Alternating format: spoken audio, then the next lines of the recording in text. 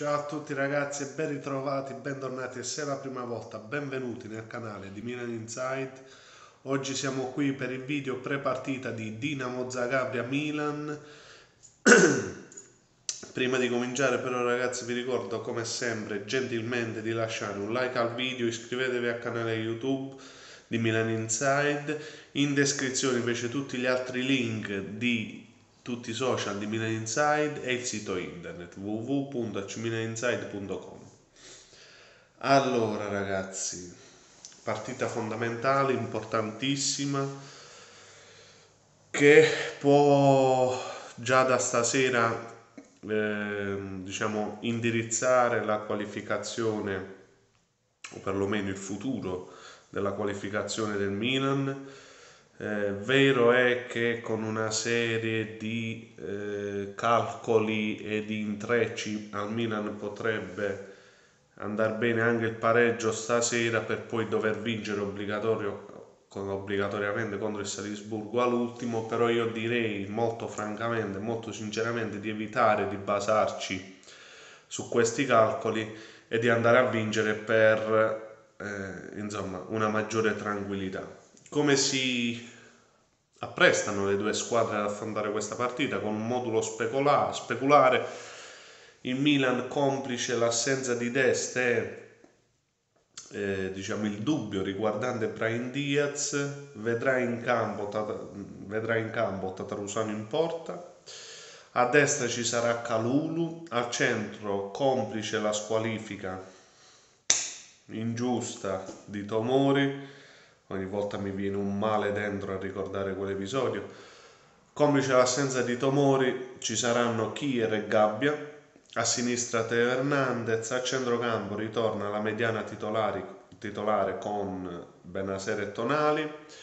Sulla tre quarti qualche novità legata, ripeto, al dubbio riguardante Brian Diaz e ad un cambio, diciamo, tattico che il mister sta valutando quindi a sinistra torna titolare Leao, al centro ballottaggio Krunic de Keteler con il buon Rade leggermente favorito e a destra non Messias, bensì potrebbe esserci Ante Rebic.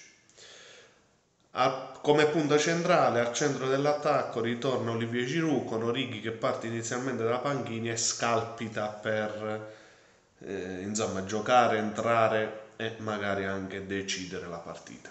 La Dinamo risponde con un, ripeto, con un modulo speculare 4-2-3-1 con Livakovic, Ristovski, Šutalo, Pesic e Ljubicic, Ademi e Misic in mediana, tre quarti con Spikic, Ivanusek e Orsic alle spalle di Petkovic. Tutta una serie di ic che se non mi sono confuso è un miracolo. Ma comunque, detto questo, arbitra il signor Marciniak, polacco, eh, con il quale il Milan ha un solo precedente non bellissimo, risalente alla prima partita dell'anno scorso di Champions, quando eh, i rossoneri persero per 3 a 2 ad Anfield. Eh, di quella partita mi ricordo sinceramente quel rigore che poi Megnon neutralizzò su Salah eh, per quel braccio un po' diciamo così eh, dubbio mettiamola così di Benaser non dubbio perché il movimento col braccio c'era non ricordo che fosse larghissimo insomma mh, mm, ebbi qualcosa da ridire su quel braccio. Comunque poi venne neutralizzato, andammo in vantaggio e bla bla bla. Fu annullato per un gol a Kier purtroppo però su un fuorigioco evidente. E come dicevo poco fa, eh, la partita è importantissima, va vinta, la Dinamo non perde in casa da dicembre dell'anno scorso, quindi sono praticamente 9-10 mesi che non, non conoscono la sconfitta in casa eh, in questa Champions hanno sconfitto il Tottenham e pareggiato col Salisburgo, e, pardon, il Tottenham, il Chelsea e eh, pareggiato col Salisburgo. e quindi e verranno supportati da una vera e propria bolgia dei loro tifosi, tanto che il Maximir sarà tutto esaurito, i tifosi rossoneri, rossoneri saranno scortati per evitare che possano crea, crearsi conflitti con i tifosi di casa e ripeto sarà una vera e propria bolgia che metterà il Milan davanti a una vera diciamo, prova del 9, come ho detto poco fa, per capire quale possa essere il futuro legato alla Champions del Milan. Eh, una sconfitta oggi comprometterebbe nettamente, se non chiuderebbe ogni discorso legato alla qualificazione. Eh,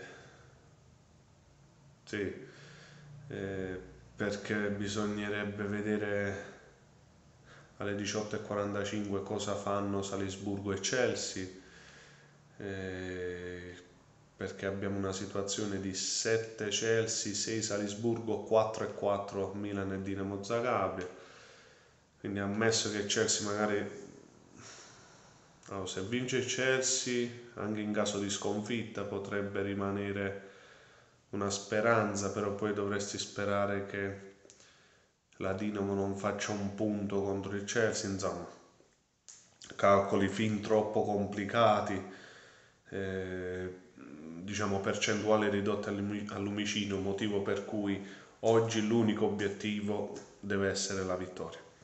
Questo è quanto ragazzi, io vi ringrazio, vi saluto, vi do appuntamento poi a domani con analisi e pagelle, nel frattempo potete seguire tutti gli aggiornamenti della partita sia con la live testuale sia il pre e il post con le dichiarazioni sul sito, sui social. E noi vi ringraziamo, vi salutiamo, vi ringraziamo anche per il supporto che quotidianamente ci fornite. Ricordatevi ancora una volta like, iscrizione, commentate, campanellina qui e dappertutto. Ciao ragazzi e sempre Forza Milan.